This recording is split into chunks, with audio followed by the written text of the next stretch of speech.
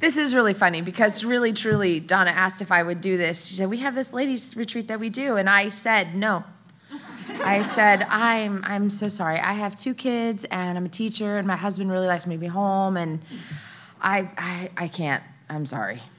And even as soon as I walked away, I totally knew that the Lord was. was I, seriously? Are you kidding me right now? Um, because I grew up singing. I started singing when I was five with my mom, um, and just kind of grew into worship ministry. So it was just funny that the Lord was like, I bring you this opportunity, you say no. I don't think you understand how this works. So, so we're going to work on that. Um, so I just, um, I, I, want, I want to, I want to read again Ephesians 1 3 and, and then pray. Lots of prayer. So, Ephesians 1 3, you guys have heard it. By the time you leave, it'll be just running through your veins. Blessed be the God and Father of our Lord Jesus Christ, who has blessed us with every spiritual blessing in the heavenly places in Christ. Lord Jesus, thank you for your word. Thank you for your Holy Spirit. Lord, we need you so desperately, and we need your word, and we need to hear from you. So we just look to you. Thank you that you're faithful. Thank you that you are sufficient for every need, for every worry. And thank you that your word is living and active and that you are alive and you work in us and through us. And so, Lord, we just give you this time. Please, Jesus, would you speak? It's in your name we pray. Amen. I have to start out by telling you guys something funny. Um, I almost called Donna, almost texted her to say, what like what is everybody sharing on? Because if any of you have ever worked with donna she keeps things really like open right? And just whatever the lord lays in your heart you just go for it. And i for the if you're familiar at all with the enneagram and personality types i am a type one um, which means i am a planner and i like things to be structured and organized and everything in its place and as it should be and we all know what's happening so there are no surprises which is such a joke when you're serving the Lord because He just doesn't work that way. no, no. As a matter of fact, I through this experience, I am I'm growing to believe that the Lord has actually given me this personality as a joke on me. Um, he just he, it's it's very funny how he thinks, and I'm sure lots of you guys can tell the tell the same story. You have plans you know, the, many are the plans of a man's heart, but the Lord directs his steps, right? And so I have been looking forward to this. I've been asking the Lord, Lord, what do you want? How, what, what do you want to say? And what do you want to show me? And all these things. And um, I've been crazy busy. And I finally got to sit down. And the Lord's been showing me lots of things as we go. Last night I sat down and I put it all together in my format, my type one preparedness plan for this because I don't speak. I talk a lot. I just don't speak at things. So I planned it all out. And I was all excited. Woke up this morning told my mom, I was like, I'm really excited. I think this is going to go good. I, I know what I'm to talk about. I'm to talk about this, this, this, this, this, and then it's going to be good. And then we sit down, and Alicia gets up to speak. God told her the same things he told me. And here I was thinking we had this special thing going, right? And I was like, mm, me and the Lord, we had some good times. And apparently he had that good time with her too. So, some of this stuff that, that you're going to hear will be repeated. And I'm going to go ahead and trust that that's because the Lord just wanted you to hear it twice. And most of my notes, I don't know how they fit together anymore. So, who knows what will happen? This is why people give me a guitar and lyrics and charts and say, follow that, please. Don't go off script. So, Donna, you get what you asked for. Ha ha. So, here we go the blessings of the Lord. Um, if I were to write my story in a book. I think I would probably call it, well, first I have to back up a little bit. My middle name on my birth certificate is legit Sunshine. And so everybody's always called me Sunshine. I know I smile a lot. My face usually hurts. It's a thing, it's fine. Um, so if I were to write a book, I would, I would have to call it Little Ray of Sunshine, the girl who did what she should. Because my mom and I have had a wonderful relationship from the word go. I have never rebelled. I, they got, my family got saved when I was four years old. And at the concert, right? It was it a concert when you all got saved? Ish? Okay, we'll pretend that it was. That's my mom, Stephanie. Everybody say, Hi, Stephanie. Hi, Stephanie. So, welcome to the conversation between my mom and I when I rehash all these things that I had planned yesterday, I promise. um, so, my family gets saved and they come to know the Lord, and I, they're talking about being saved and heaven and forgiveness and Jesus and the cross and God and all these things. And here I am, four years old, and I'm like, uh, sign me up. I want that. I want to be saved. I don't know what it is, but I want it. And so Jesus just captured my heart right away. And that has been that way my whole life. And so the girl who did what she should, which I think fits with that whole personality thing. I like to know what I should do and then execute that.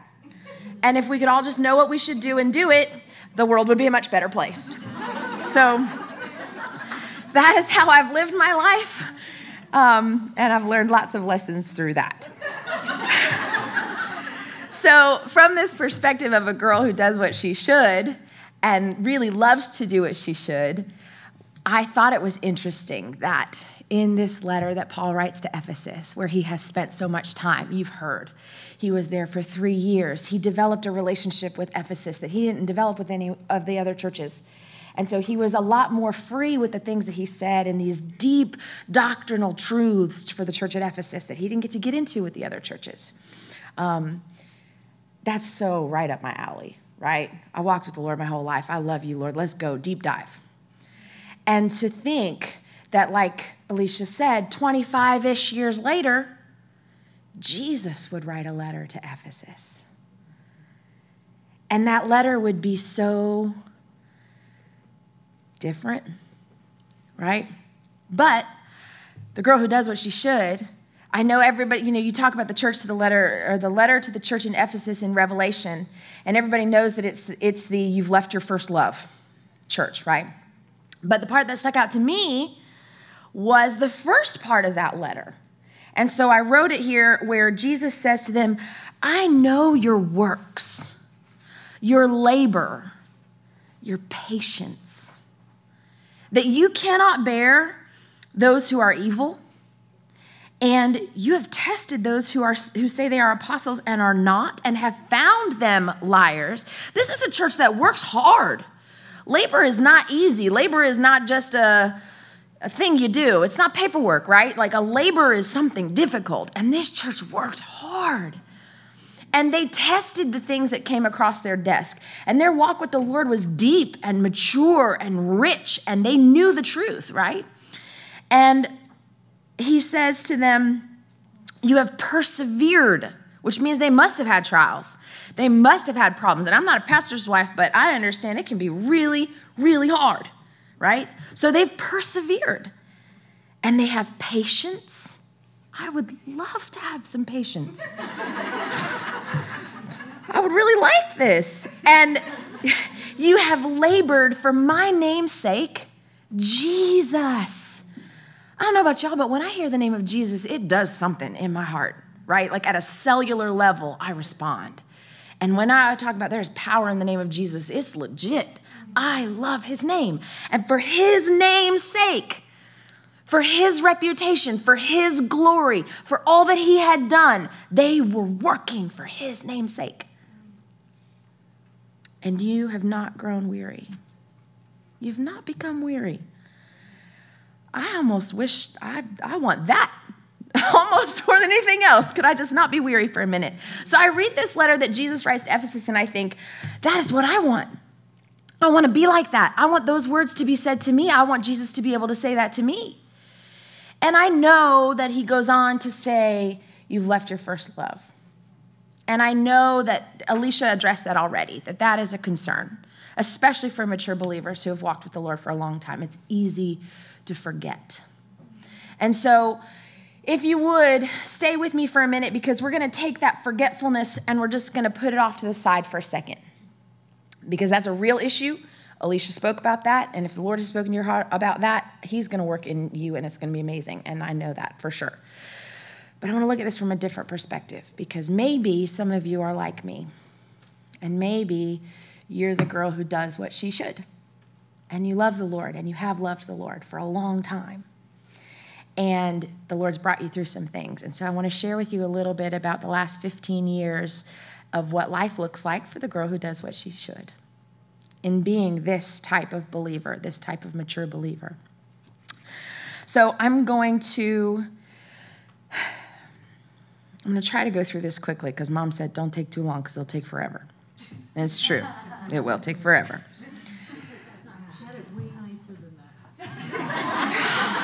I mean, probably, let's be honest. So, so I'm just going to go the last 15 years, right? Like my grown up life. Um, I went to UCF I, because I wanted to stay close to home. I got accepted to UF almost went there because I was a Gator all my life, go Gators. And at the time, UCF I probably couldn't even pronounce the word football. So I was going to be a Gator. I didn't know what I wanted to go to school for, and it, by the grace of God, His wisdom came into my heart, and I thought maybe I should not choose my college based on football.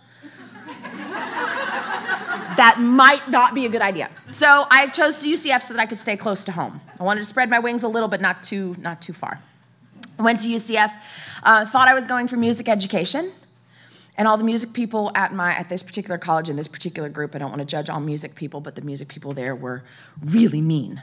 So I did not stay there long. Um, I couldn't keep up. So I switched to elementary education. Because you know what I can keep up with? Little kids. I could do that, right? Figured there's a good chance I know more than them, so we'll do that. right? And they can't tell me that I did it wrong because they're like 10. So, yeah, you don't even know. Just stop talking to me. So, went to college, got my degree in elementary education. I'm the first person in my biological family to go to college, to graduate with a degree. So, this is all new stuff, right? I'm doing what I should. While I was there, I met my husband, Ron, who was my all time best friend in the whole wide world. We dated on and off. Our friends couldn't tell when we were on or off because it looked the same to them. Um, and we were just trying to figure stuff out. So I, um, you know, in doing what I should and in, in, establishing my independence, this last time that he and I broke up, I, we broke up and I said, um, he had a key to my apartment because I would lose my keys all the time. He had a key to my car. I'd lose my keys all the time. We both were following the Lord, so there was no weird stuff. But he had my ID. Like I lost my driver's license, and when I found it, I gave him my extra copy. So when we went to the movies and stuff, he could get tickets at a student discount or whatever. Like our lives were so intertwined, and I was going to be independent. So we broke up, and I said, don't call me, don't text me. I cannot be your friend. I love you. You don't love me, and we're not going in the same direction. So that's that. And for three months, I didn't talk to him at all. Worst three months. And anyway, long story short, we get back together. He said, letting you go was the worst thing I ever did. Literally said those words. It was like Lifetime movie. And we got back together, we got engaged, we got married. Hallelujah. And to this day, he is my best friend. Um, so praise the Lord for that. We had our daughter, who could not be a more perfect kid. Like, I'm kind of I mean, I am super blessed, no lie. I'm also a little bit like, I mean, that was kind of my thing.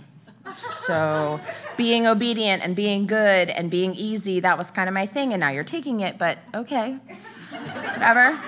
Children will strip you of your identity, so we'll start right away, no problem. Right? So, I have my daughter, she's amazing. Very easy baby. Um, we were we had a great apartment i had a great job i worked across the street from our apartment we decided to move closer to home because we were driving back and forth from orlando to merritt island for church um, we built a house in Cocoa that was beautiful. Never would have imagined we could have done that. Um, we were young and dumb and didn't have any money. I'm a teacher, and he'd worked at the same place since he was 17 years old. He doesn't have a degree. And so, blessing of the century, we had this huge house, and it was beautiful. And I taught online, so I got to stay home with my baby. And I mean, it, was, we had everything that a young couple could ask for super blessed. Um, had my son, who is awesome as well. Um, super cuddly, affectionate little kid. He is just so, so cool. Um, life was great. And this is really fast because I don't, I mean, I don't want to make it sound like this is some big dramatic thing. This is not a big medical dramatic thing, but really fast um, my husband developed some health problems that have led him to the place where now, where we currently are, um, he's, he has really bad health problems and he won't go to the doctor. And I love him and I just am not going to nag him about it and push him and whatever. So I just pray and let the Holy Spirit talk to him. But the reality of my life is that my best friend in the whole world lives most of his life at home. He goes to work and he is in great spirits and he loves the Lord. Um, but very often, when I leave for the day or if I come to something like this, I text him all day and will call him all day because there's a very good chance at some point, if the Lord does not do something drastic in his heart, um, that I will come home and probably find him having had a massive heart attack. And I'm afraid of that all the time. And he knows this. I've told him this. So if he ever listens to the tape or whatever, he knows um, that I'm afraid of that. And I have to give that to the Lord every day. That this blessing of a man um, could be taken at any minute. And I mean, that's true of all of our husbands and all of our, all of our families. So it's not, I know it's not a, a, an uncommon struggle. Um, we lost our house. Uh, we went through foreclosure because I bunch of job changes. I lost that job, didn't lose it. I left it, and it, it became an unhealthy situation. And I left the job that was paying all the bills, and um, we went through foreclosure, and very few people in my life knew about it because we didn't really talk about it. So that was something that I went through by myself, kind of, um, with my family, and dealt with a lot of just spiritual struggles, trying to trust the Lord. I don't know why you won't fix this, God. I don't know why you won't provide for us differently. I don't know why you won't. You gave us this house and we can't keep up with it. It's running away from us and we're losing it. And we lost it. And um, my husband struggles with issues over that, that we are, are always taking to the Lord and, and constantly laying at the feet of Jesus, believing that He has given us everything we need. And if He's taken that home, it's because we didn't need it. And He is doing something.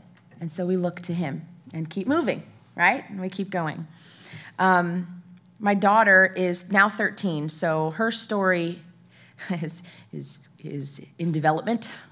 Um, it's, in, it's in production as we head into the teen years. I will get back to you shortly on how that goes because so far, no major issues there.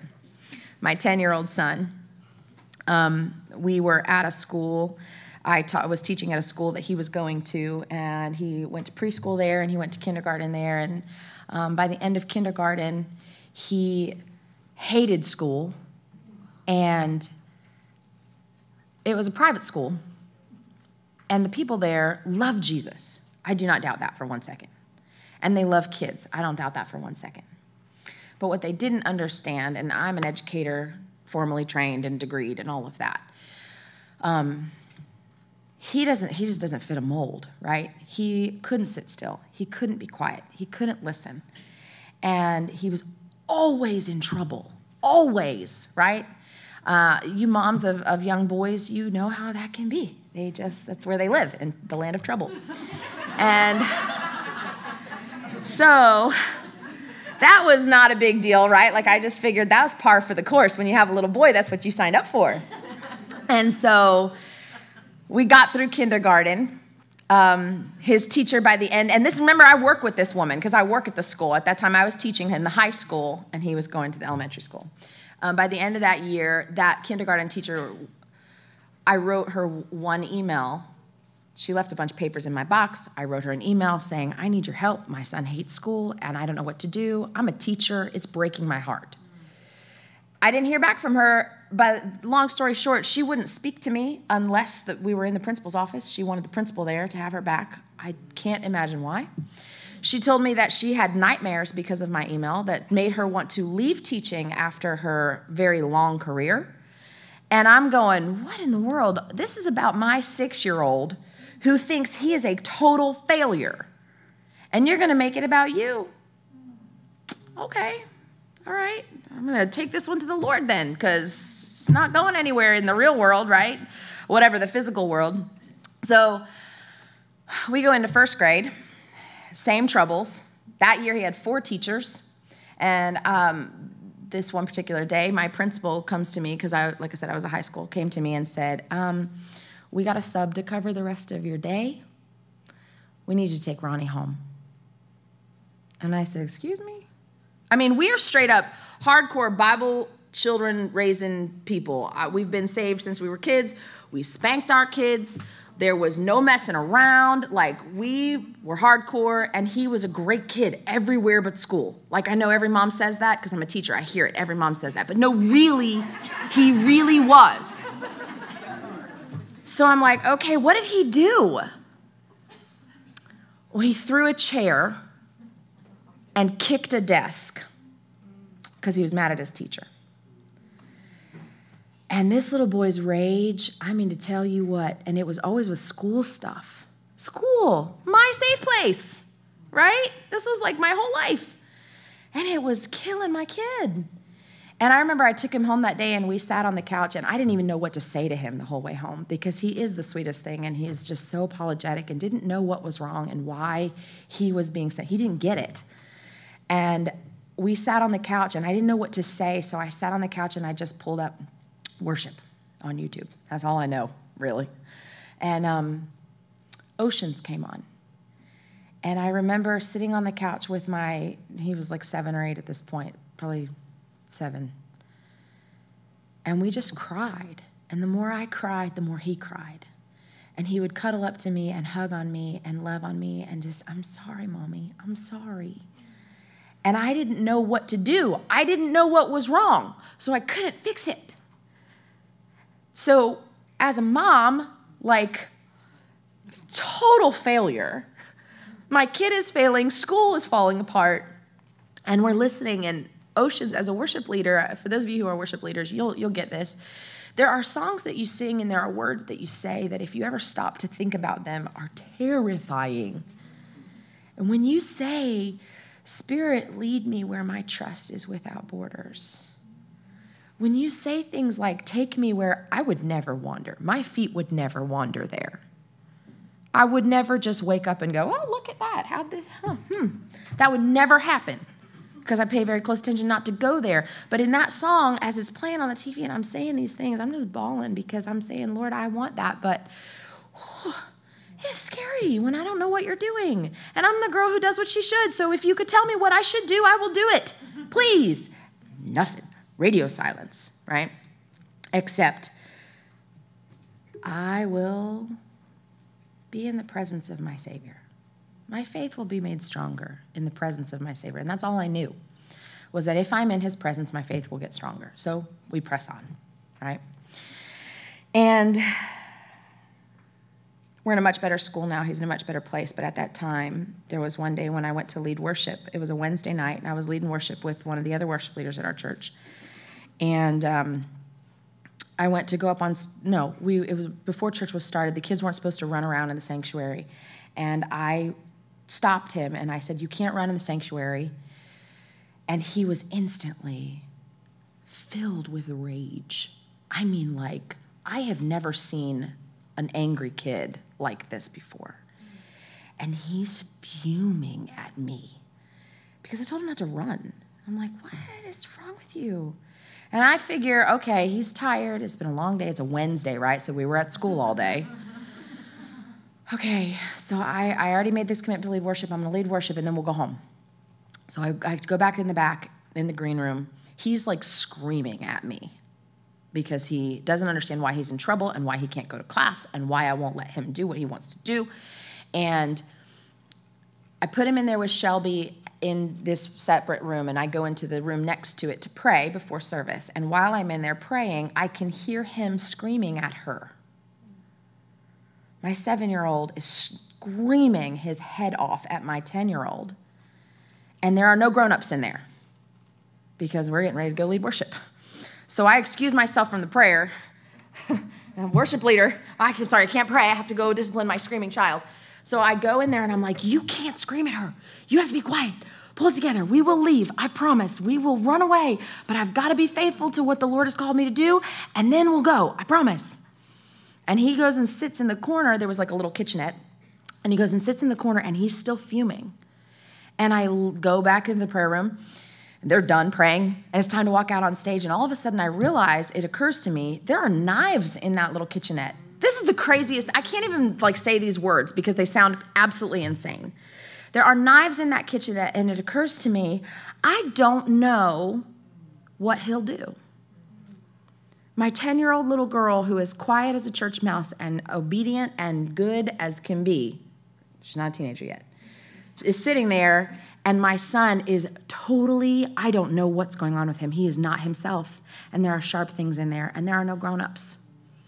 And I literally am walking up on the stage as I'm thinking all of this, and I told our other worship leader, I said, I'm so sorry. I have to go. I, I can't do this. Now, you got to understand, I lead worship through come hell or high water. I mean, there was one Sunday when we got the news five minutes before we walked out on stage that one of my very, very good friends had passed away unexpectedly. And it was just, hey, Don Hale died. What? Okay, I'm gonna go lead worship now.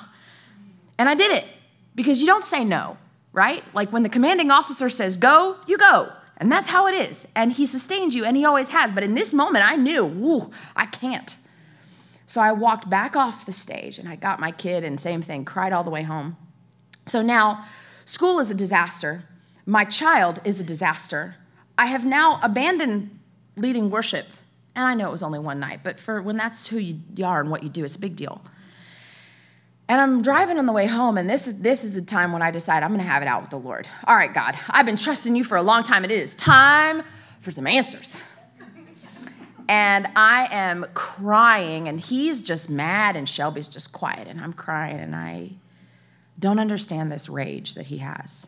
And there was nothing I could do. We had prayed. There were times when he would sit up in the upstairs of our house before we lost it, and he would scream, and we'd say, Cry out to the Lord. It's okay. You can be honest with him. You can pour your heart out before the Lord. He loves you. He'll listen to you, saying all the right things, right? All the things that we do when we are at, at our wits' end told him all of that and he would he would sit in his room upstairs and scream at the top of his lungs to the lord where are you why won't you help me?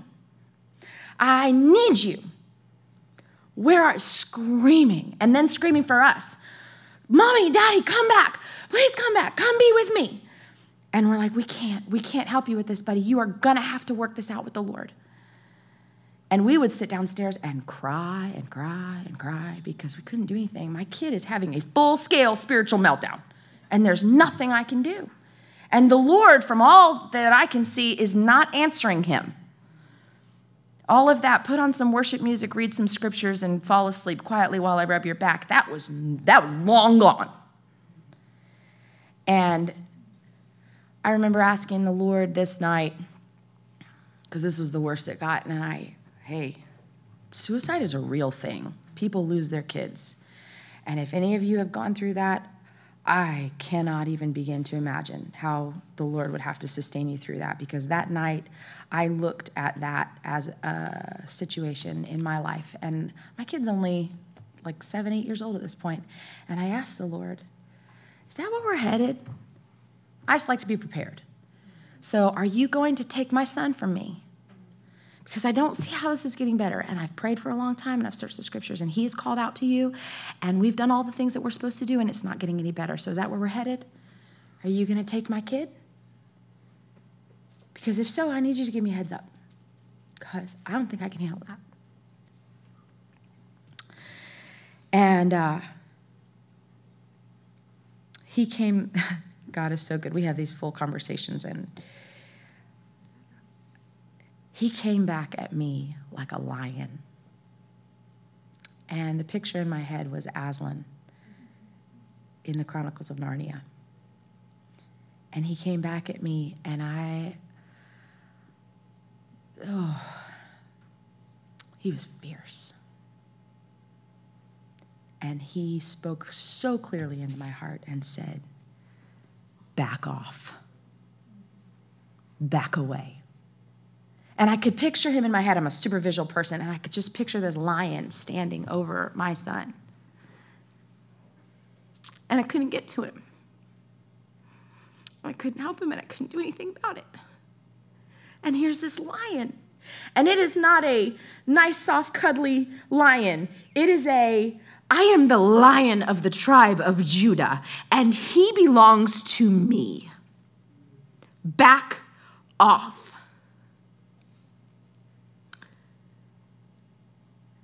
And the Lord showed me in that one instance how fiercely he loved my son.